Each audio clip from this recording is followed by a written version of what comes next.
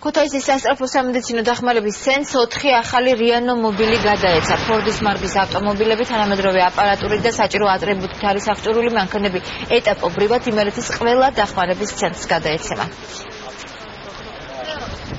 საქართველოს მასშტაბით დაიწყო ავტოპარკის სასწრაფო სამედიცინო დახმარების ცენტრის ავტოპარკის განახლება.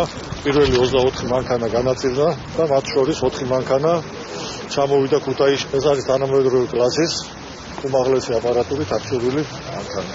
პარკის განახლება, შენობის და მენეჯმენტის განახლება და როგორც ვიცი, საკმაოდ ბევრი სიახლე იგებება, მოგცემ საშუალებაც, რომ ქალაქში ვიყო ჩვიდად და ვიყო დაზღვეული იმ გადაუდებელი შემთხვევებისთვის, რომლებიც ნუ ზოგადად შეიძლება მოხდეს.